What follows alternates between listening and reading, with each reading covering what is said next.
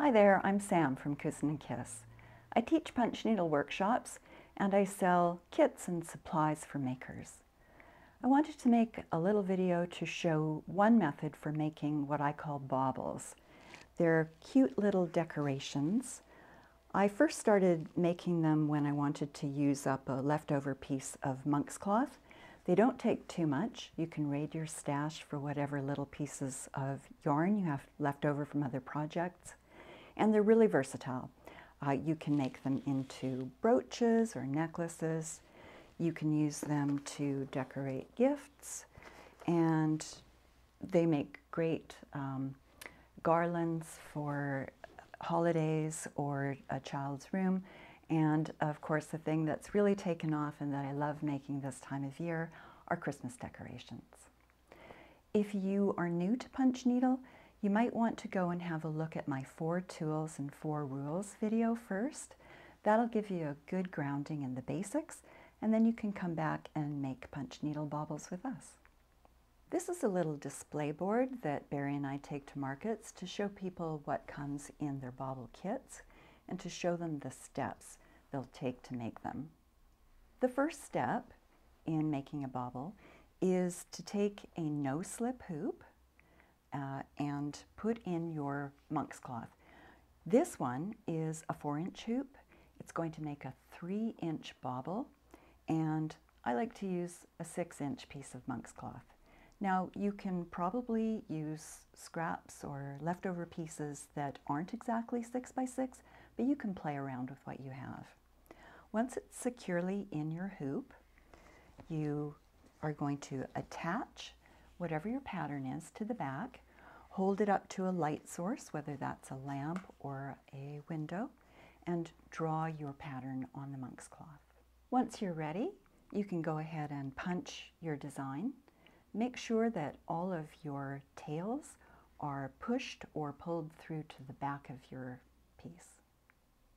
Once you're finished punching, take your monk's cloth out of the no-slip hoop and cut a hem around the outside, probably about a one to one and a quarter inch hem will do.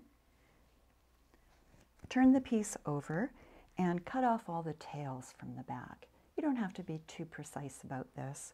All of this fluffiness is going to be inside your finished bauble and will add to the cushioned effect.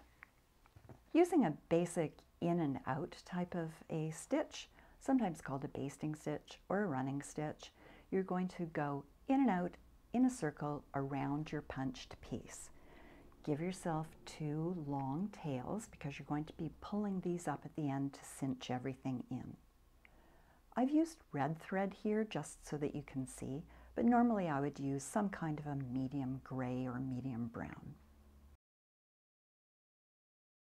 Cinch everything together so that you've got a dumpling shape with your piece. It can be quite a bit tighter than you think it's going to be because when you go to put your backing on, it's going to flatten it out a bit.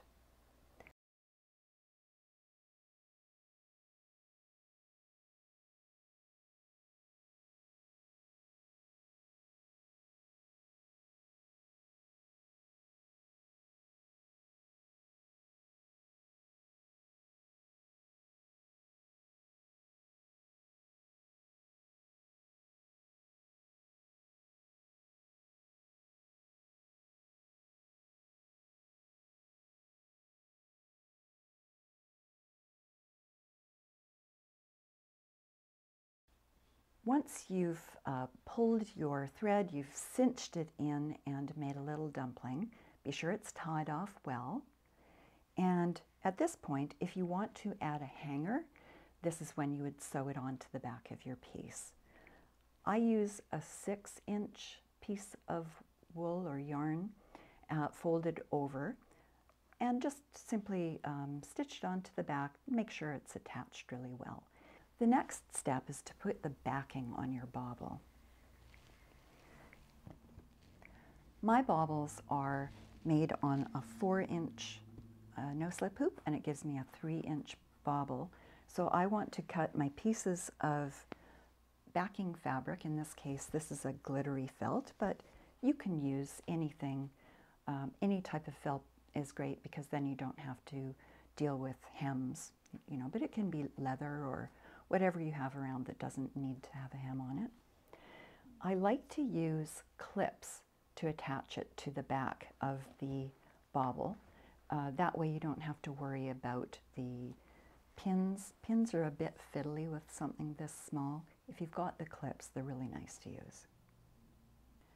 The sewing of the backing on the bauble is going to be done using a very simple whip stitch, whereas the stitch that we used to cinch it up was an in and out type of stitch.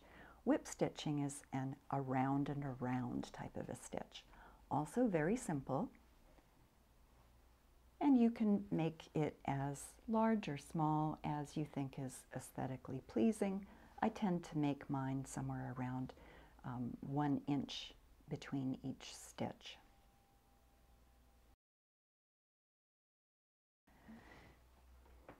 And once you've finished stitching your backing on, your bauble is complete. I hope you enjoyed the video and I hope you'll give bauble making a try. If you do, and you'd like to tag me on Instagram, I'd love to see your projects. Please follow me on YouTube. We'll be making more videos in the months ahead. Happy punching!